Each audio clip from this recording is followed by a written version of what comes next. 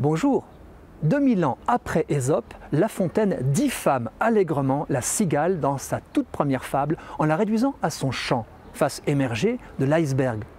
Tout naturaliste voudra la réhabiliter. Savez-vous qu'avant de chanter, la cigale vit longtemps un discret et silencieux labeur souterrain?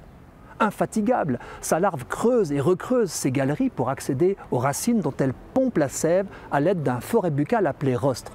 Par un ingénieux dispositif, son urine s'évacue par le haut de son corps. Elle peut ainsi l'utiliser pour ramollir et maçonner la terre.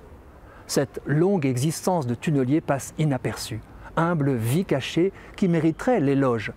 Ne néglige-t-on pas trop souvent les 30 premières années d'un certain sauveur avant qu'on entende enfin sa parole?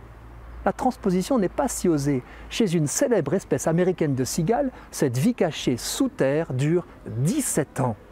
Chez la cigale plébéienne ou grande cigale commune du midi de la France, 5 ans suffiront.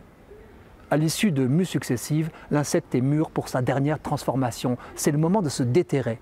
Les promeneurs trouveront, près des arbres où elle donne ses concerts, des mues nommées exuvies. On distingue la forme qu'avait la bête avant de se fendre le dessus de sa carapace, s'en extraire, déployer ses ailes, vitrail transparent moucheté de noir, et les sécher. Silencieuse, la cigale femelle ne bavarde ni avec les fourmis ni avec ses amants. D'ailleurs, le mâle ne chante pas non plus, il symbolise. À la différence des sauterelles qui frottent des archers pour striduler, le mâle cigale dispose de deux membranes qu'il fait vibrer au-dessus d'une grosse caisse de résonance. Cette symbolisation est si assourdissante que notre percussionniste doit, quand il joue, déconnecter ses propres tympans.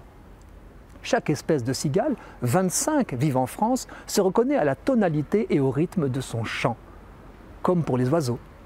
C'est même l'ultime élément discriminant lorsque les différences morphologiques sont invisibles. Sinon, le chant du mâle est surtout un appel sexuel. Si vous approchez discrètement, à la belle saison, un arbrisseau ensoleillé où l'on l'entend, il faut au moins 22 degrés et pas de mistral. Tâchez d'observer le petit manège de ces dames. Votre présence a fait cesser la sérénade. Au jeu du chat et de la souris, mettez le mâle en confiance en restant immobile comme un arbre. Il rechante. Repérez-le, plaqué sur le tronc, camouflé sur l'écorce. D'autres cigales, les femelles, s'approchent. Si vous êtes patient et habile, vous pourrez, tel un chat, saisir un spécimen avant qu'il ne s'envole, le retourner délicatement et observer. Soit les dispositifs sonores du mâle, tout en haut du dessous de son abdomen, soit c'est une femelle, la tarière qui lui permet de pondre dans l'écorce. Les larves se laisseront tomber au sol dès l'éclosion. Vous connaissez la suite.